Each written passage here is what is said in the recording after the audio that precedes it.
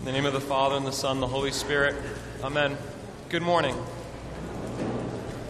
Today in the Gospel lesson this morning, we found Philip finding his friend Nathanael, finding his loved one, his, his close, his close fellow, soon to be fellow disciple Nathanael, and he said, Come, we've, we've found the Messiah. We found the person whom the entire scriptures and Moses wrote about. His name is Jesus of Nazareth. If he had just said Jesus, maybe that would have been fine. But he said of Nazareth, and Nathanael's first response was, Nazareth? Can anything good come out of Nazareth? Philip had good news. He had great news. He had the best news that any ears have ever heard of the coming of the Son of Man, of the coming of the Son of God, and the coming of our Savior, of our Messiah. Yet, Nathanael's first response was, I don't like that place. That place is a little strange. It's a little undesirable. It's a little. N- Nazareth wasn't like Rome or Jerusalem or Alexandria. It was a humble town. It was a town that you didn't make vacation plans to go to. So, oh, well, that's great. The Messiah is coming, but from there?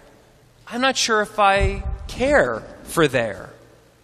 Today, and every week during Lent, we're going to be offering special donations to charities. And today, we're going to be offering our second tray and additional trays that will be uh, collected at the end of liturgy for OCMC, the Orthodox Christian Mission Center, whose job it is to go to there, the place that we might not necessarily feel comfortable in, the place that we might not necessarily want to go to, the place that might be a little hard to live in and to minister in as Orthodox Christians.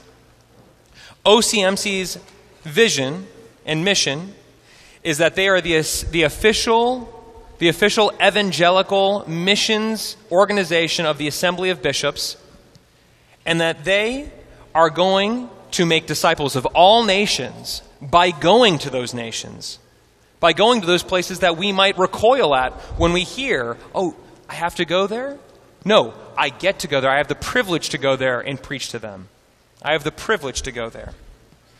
And bringing Christ and His church to these locations, we're able to go and send preachers to people who have never heard the Word of God before. We just had the, the, the, blessing of having one such missionary in our church this weekend on Friday, Jennifer Rice, who is preparing to go for a mission for two years to Guatemala.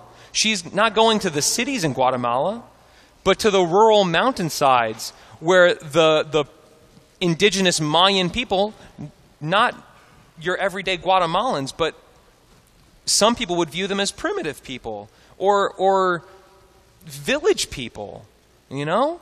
She's going to people who have never heard the word of Christ or who have just heard it and are baptized and are infants in the faith. She's going there to preach to them to instruct them, to bring them up in this beautiful faith that we have been given, and a faith that's not been given to us to keep to ourselves, but to share. And to share where? To everywhere, to all nations, even Nazareth and those places that we might not think are desirable to go to. OCMC is doing that work, and thanks to our contributions that we make every year, and thanks to your contributions that you're able to make today, we will be able to fund more missions and more missionaries like Jennifer in the years to come. We're blessed here to be uh, to have an intimate relationship with OCMC uh, since the mission center is just a short way away in St. Augustine, and because we have many faithful and, uh, and active leaders in missions. We have our own Helen Nekuzisius, who is kind of a board member emeritus, in addition to Deacon John Christakis and Athena Economou, who are active on the board, and our own Marlene Butner, who is our chair here at St. Mark for missions and evangelism. Through their role models and their inspiration and their leadership, may we all answer the call as well to support missions, even if we're not able to go ourselves, to support others who can.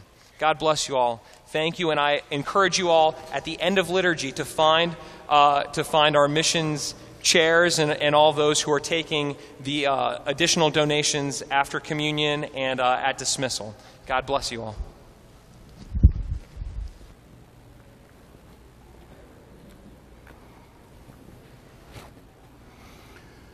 Having remembered all the saints, let us